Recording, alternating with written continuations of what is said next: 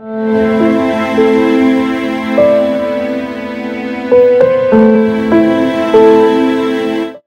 फरवरी 2024 पाँच साल हो गए जो पाकिस्तानी आतंकियों ने पुलवामा ज़िले में सीआरपीएफ के काफिले पर आत्मघाती हमला किया।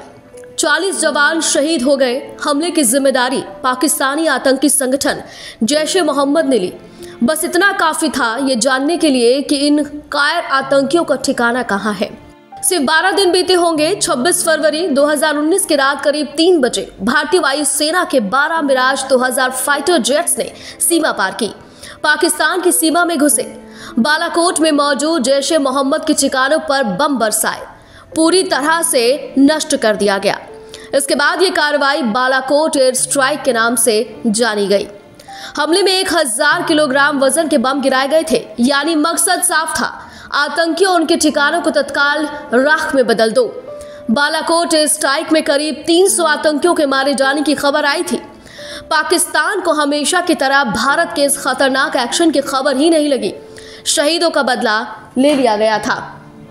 क्या था पुलवामा हमले की असली कहानी? 14 फरवरी 2019 को आतंकियों ने देश के सुरक्षा कर्मियों पर कायराना हमला किया था। इस हमले में 40 सीआरपीएफ जवान शहीद हो गए। कई अन्य गंभीर रूप से जख्मी थे। जैश ए मोहम्मद के एक आतंकी ने विस्फोटक से लदे वाहन को सीआरपीएफ जवानों की बस से टक्कर मार दी थी। इस टक्कर के बाद एक जोरदार धमाका हुआ।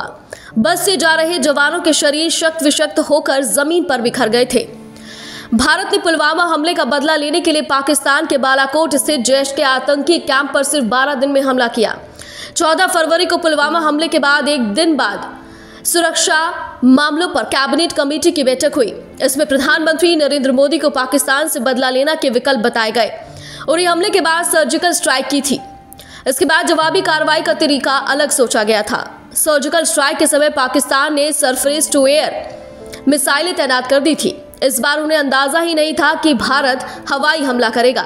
पीएम मोदी ने स्ट्राइक की ज़िम्मेदारी राष्ट्रीय सुरक्षा सलाहकार एनएसए अजीत डोभाल को दी। डोभाल और उस समय के वायुसेना प्रमुख बी एस धनोआ ने हमले का प्लान तैयार किया। बालाकोट में जैश के आतंकियों को सबक सिखाना था। जब जगह तय हुई, तब सभी गुप्तचर एजेंसियों ने इनपुट निकालना शुरू किया। भले इस हमले में वायुसेना का अहम रोल था, लेकिन थल सेना को भी अलर्ट पर रखा गया, खासकर बॉर्डर पर। एयर स्ट्राइक से दो दिन पहले तय हुआ कि मिराज 2000 फाइटर जेट के साथ Netra, A W A C S P तैनात रहेगा। इन्हें ग्वालियर में तैनात किया गया था। साथ ही आगरा बेस को अलर्ट पर रखा गया था। 25 फरवरी की शाम ऑपरेशन में हिस्सा ले रहे लोगों के फ़ोन बंद कर दिए गए। पीएम मोदी, एनएसए, अजीत डोभाल और बी एस धनोआ लगातार मिशन से संबंधित हर जानकारी की अपडेट ले रहे थे। 26 फरवरी 2019 की देर रात मिराज 2000 ने ग्वालियर से उड़ान भरी तो आगरा बरेली के एयरबेस भी अलर्ट हो गए। इस दौरान पाकिस्तानी एयर डिफेंस सिस्टम पर निगाह रखने को कहा गया।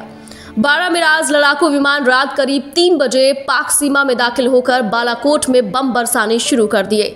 इस दौरान पाकिस्तान के F sixteen fighter jet active हुए, लेकिन देर हो चुकी थी। तब तक भारतीय वायुसेना अपना काम कर चुकी थी। बालाकोट में मौजूदा जैश ए मोहम्मद के ठिकाने तबाह हो चुके थे। भारत सरकार ने कहा कि इस हमले में जैश के सैकड़ों आतंकी मारे गए थे। पाकिस्तान ने घटना के बाद अपने पूरे एयर स्पेस को नो फ्लाई जोन घोषित कर दिया था। कई महीनों तक घटनास्थल पर किसी को जाने नहीं दिया गया।